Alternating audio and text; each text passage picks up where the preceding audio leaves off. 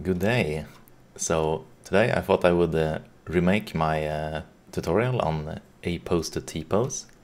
Uh, and the reason is that I got recommended this uh, this very good uh, add-on here called SKkeeper, which uh, it will allow you to to keep the shape keys when you apply modifiers, which is very good.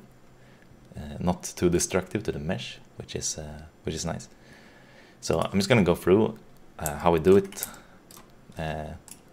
like uh, usual. So what you want to do is, uh, let's say you have this A pose here, you want to convert it to a T pose like this.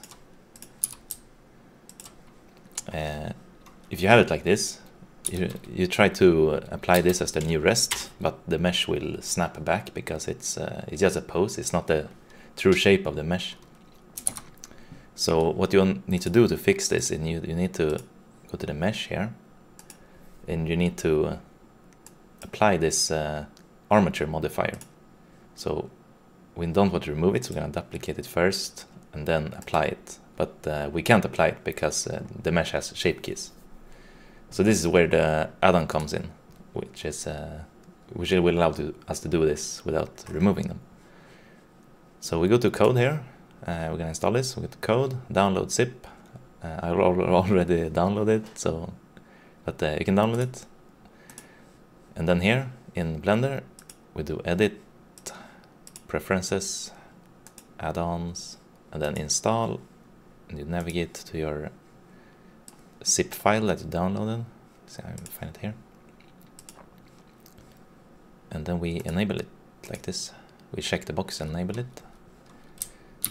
Uh, and what we get with this add-on, we get this uh, in the object menu here. We get uh, these three uh, settings here, or uh, options. and we want to, the last one, apply chosen modifier.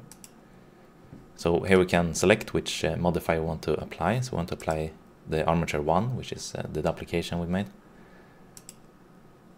And then we wait a bit and let it process. so now it applied. now we can do the apply the rest, new rest pose again and we can see that it snaps back like this.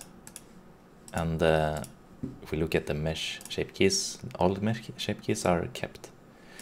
Now I don't know how to how destructive this is, if it ruins anything, but uh, I think it worked pretty well. I've tried a few models and uh, yeah, I think it works, works uh, good. Uh, but yeah, that's all for this video. Thanks for watching and uh, hope to see you some other time. Bye bye.